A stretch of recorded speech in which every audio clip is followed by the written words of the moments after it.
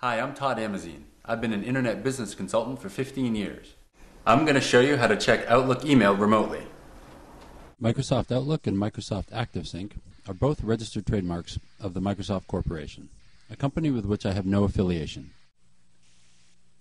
We're going to check our Outlook email remotely by synchronizing our Windows desktop with our PDA. The first thing we need to do is install Microsoft ActiveSync. You can install Microsoft ActiveSync by either using the CD that came with your PDA or other device, or you can download it from the Microsoft website. If you don't know where to find Microsoft ActiveSync, you can do a Google search for Microsoft ActiveSync, and you should be brought to this page. Now we're going to click on Skip Overview and jump to Download, and then click on Worldwide English.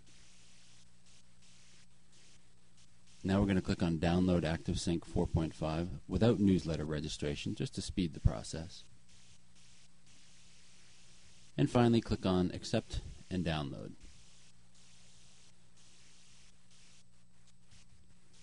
You'll be prompted to save the file, and then you should open it to start the installation process.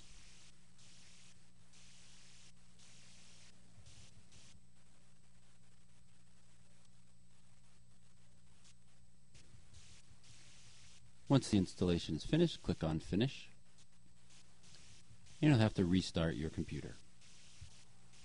After, once your computer has restarted, launch Microsoft ActiveSync by either clicking on the icon on your desktop or by going to the Start menu and choosing Microsoft ActiveSync. Now what we need to do is create the connection between Microsoft ActiveSync and your PDA. The simplest way to do that is use the USB cord provided to you when you got your device. Plug that USB cord into your computer and also plug it into your phone or PDA. When you plug it in, you'll see that Microsoft Windows creates a connection first for your device, and then Microsoft ActiveSync attempts to connect to your phone. If your phone is locked, you'll get a message saying that your device is currently locked. Simply unlock it by typing in your password on your PDA. And you'll see now that Microsoft ActiveSync will launch the Smartphone Sync Setup Wizard. You can simply click on Next. Choose the types of information that you want to synchronize between your PC and your smartphone. In this case, we want to make sure to synchronize email. We'll click on Next. We'll click on Next again. And then we'll click on Finish.